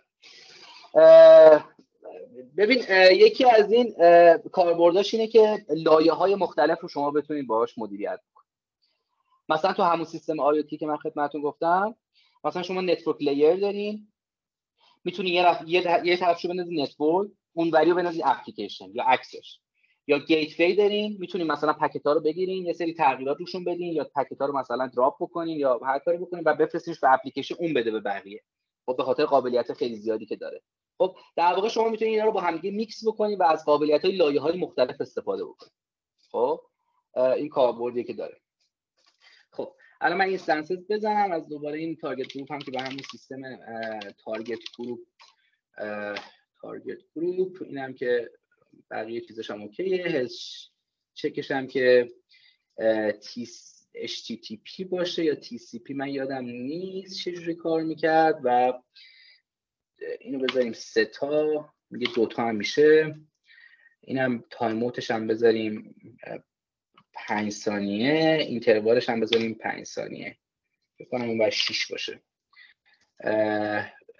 در واقع اینم که میگه که 200 تا 399 رو این داره موفقیت آمیز می‌گیره. من اگر این تی کنم چی میشه؟ فکر کنم 200 رو می‌گیره. نمی‌دونم اینو من یادم نیست. احتمالاً باید اینجور چیزی باشه. سه دو پنج.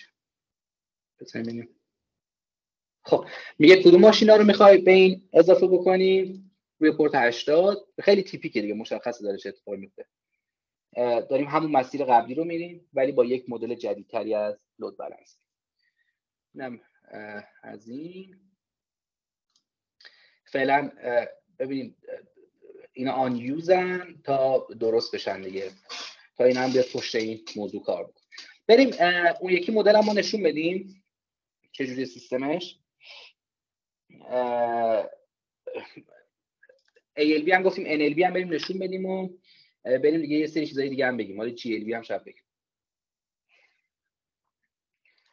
NLB چجوری سیستمش از دوباره کرییت داره وبینار NLB Network Load Balancer. IPA از دوباره می‌تونیم اینا رو بزنیم نزنیم و ببینید اینجا دیگه نکن شما HTTP و HTTPS و دیگه نداریم و سکیوریتی گروپتون هم که همون سیستم باشه و از دوباره می‌تونیم بزنیم و کریت لود بالانسر یکی از اینا رو بزن. ما میگیم توی یکی از availability zone ها کفایت می‌کنه این هم از این. ببینیم این load balancer اوکی شد یا نه.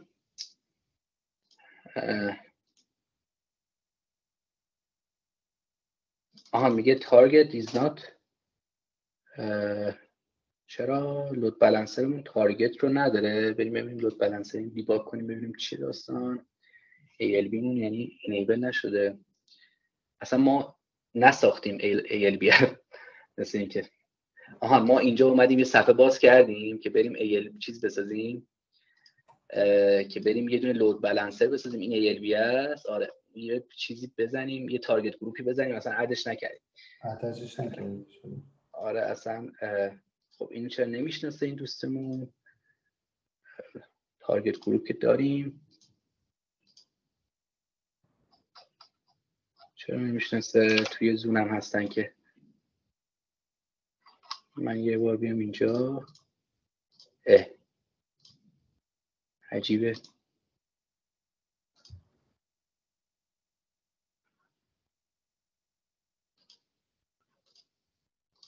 این به NLB وصل شد؟ پس چرا اون به چیه وصل میشه این پروتکلش رو TCP زدی محمد. این فکر کنم پروتکل TCP زدی HTTP خب بذاریم یه بدون دیگه بسازیم بس. خب اینستنسز بذاریم HTTP گذاشتیم اینو بذاریم وبینار تارگت گروپ TCP ببخشید HTTP HTTP HTTP یک هلس شک ادوانس اینجا هم باشه دو این هم باشه پنج این هم باشه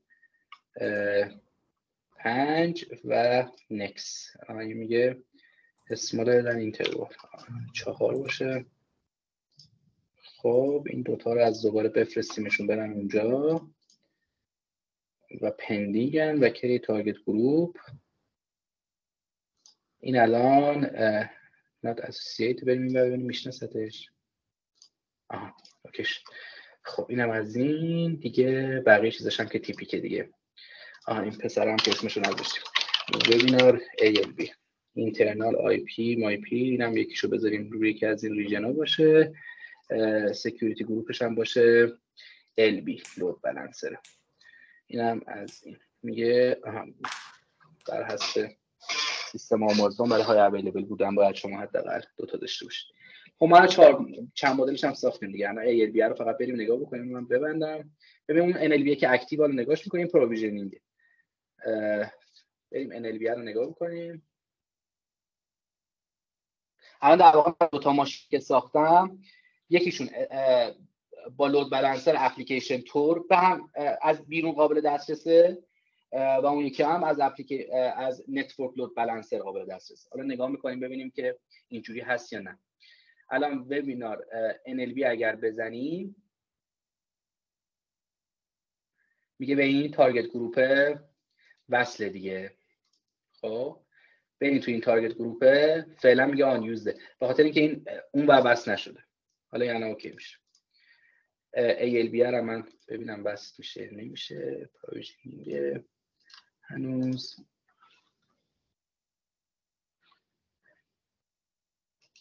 ببینیم ALB چجوری اوضاش ALB اینم داره. ببینیم سیستم آمازون کم چل بازی داره دیگه. کنید الان طول می‌کشه. همه چی واقعا طول می‌کشه. الان این رفتن تو حالت کشید حالا ما بریم یه سری رو بگیم که دیگه تمام کنیم بحث دیگه بریم سوال بپرسیم 5 دقیقه حرف بزنیم در مورد یه چیزی داره به نام auto scaling group یا ASG در واقع یکی از سرویس های آمازونه که شما می‌تونید به طرق مختلف تصمیم بگیرید که سرویس های شما بزرگ در واقع تعدادشون بیشتر بشه دیگه.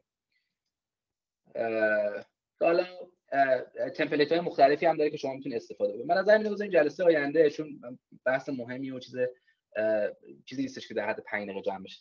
دوستان اگر سوالی هست بفرمایید در مورد جلسه که دیگه بریم سوال فقط جواب بدیم به نظرم. من نمی‌دونم بگم نگم چی بکنیم؟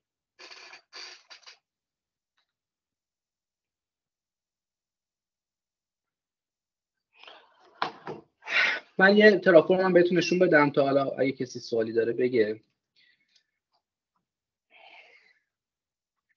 خیلی مثلا این الان این البته دوستمون خیلی زیاد چیز نیز نوشته. بریم ای در مثلا این ای دبلیو اس ال بی اگزامپ ترافور اگزامپل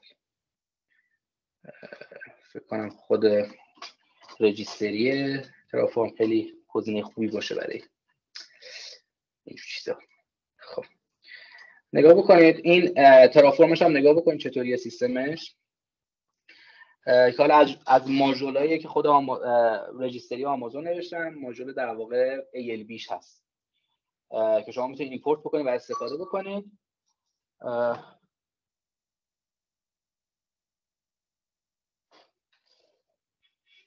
می‌تونید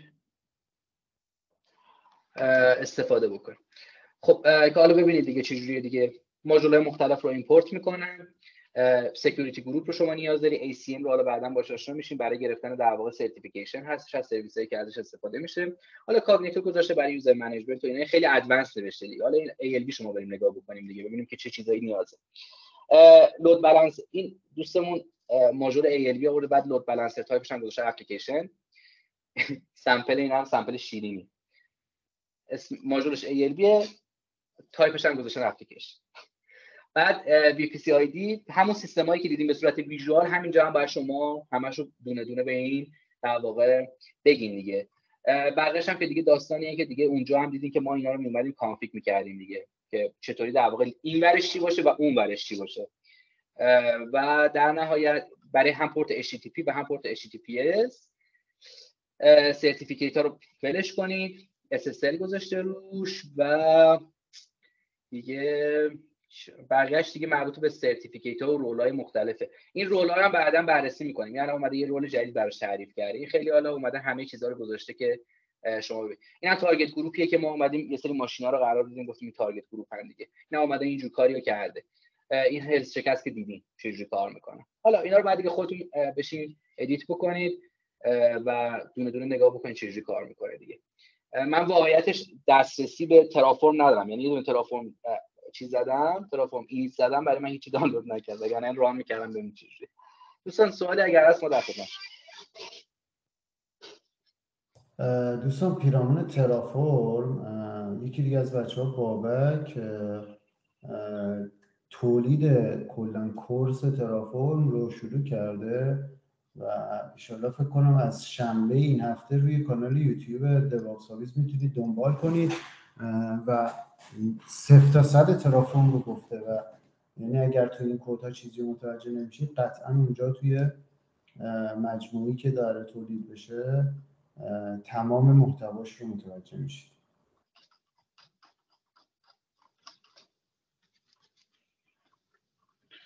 اگر سوالی هست مثلا یوتیوب رو می‌خوای؟ الان براتون میفرستم.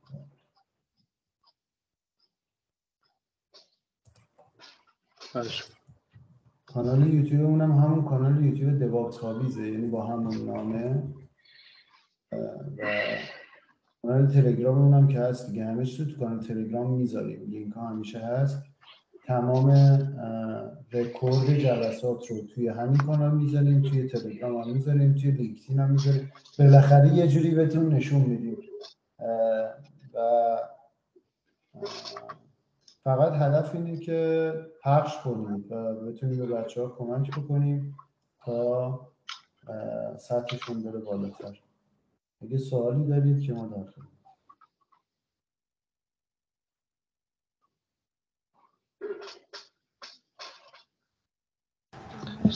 براتون خسته نباشید. صدا میاد بله بله بله. سوال داشتم راجع به اینکه این وقتی میگیم اپلیکیشن لود بالانس اپلیکیشن اونجا منظور ماشینه یا نه منظور یه دونه اپلیکیشن خاصه. ذهن اپلیکیشن منظورم مثل اپ های موبایل و چیزا یا چیز دیگه. است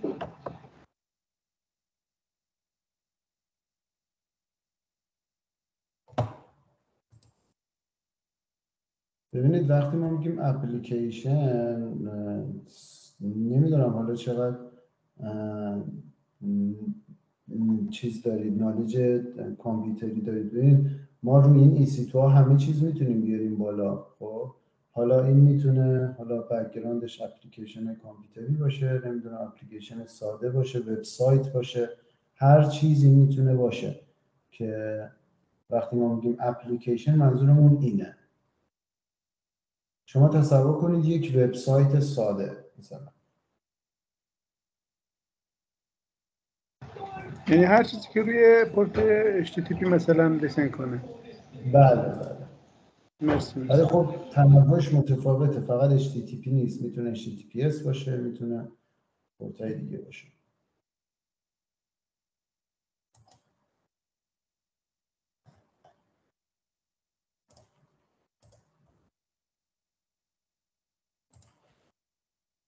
سوال AWS رو با همه سرویس و ریزکاری تو چه لولی باید حداقل بدونیم تا قبل تا قابل قبول باشه تو رزومه بیاریم.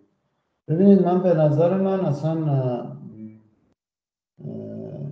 بستگی داره رو چه چیزی باشی. اصلا نمیشه بگی که هیچ حد و مرزی نداره. یعنی میمونه که بگیم مثلا دیوابس تو چقدر باید بلد باشی. خب هرچی بیشتر باش کار بکنید تجربتون میره بالاتر. خب قطعا اگر هدفتون برای مهاجرت یا مصاحبه های خارج از کشور خب وقتی با طرف صحبت بکنید طرف خودش متوجه میشه که چقدر شما تجربه دارید. اصلا خوندن مطرح نیست. من خیلی از تو بچه ها میگم میگم آمازون خوندن خیلی کمکتون نمی‌کنه برای گرفتن مهاجرت. چون همه بچه ها بقیه ساختار DevOps رو می‌کنن میچسبن ما آمازون. بعد مثلا می‌بینی Kubernetes ش میلنگه Jenkins ش میلنگه اتوماسیونش میلنگه. ولی مثلا میگه من رفتم مثلا solution architect خوندم. در صورتی که اون solution architect ی هم که خونده باز هم DevOps بلد نیست. می‌دونی چی میگم؟ یعنی خیلی قاعده کلی وجود نداره بگم. 50 درصد 20 درصد 30 درصد.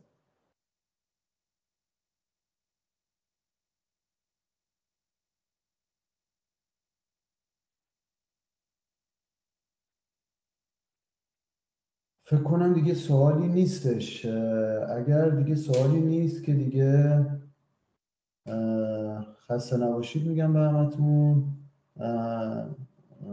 میگم بچه ها تا می‌تونید حالا محتوا رو پخش بکنید بیشتر هدف کمک کردن به بچه هاست تا بتونیم تو این وضعیتی که اتفاق افتاده یک ذره حداقل در حد اندازه خودمون کمک بکنیم به بچه هایی که حالا ریسورس محدود دارن و خیلی سخته براشون و دسترسیاتشون واقعا تو این وضعیتی که الان تو ایران هست امکان پذیر نیست. امیدوارم که موفق و پیروز باشید. خسته نباشید. دوستان خیلی مخلصیم. اگه سوالی بود توی گروه بنویسین که جواب بدیم. خیلی کم بودن امروز بچه خیلی مخلصیم. شب شبتون بخیر. خداحافظ.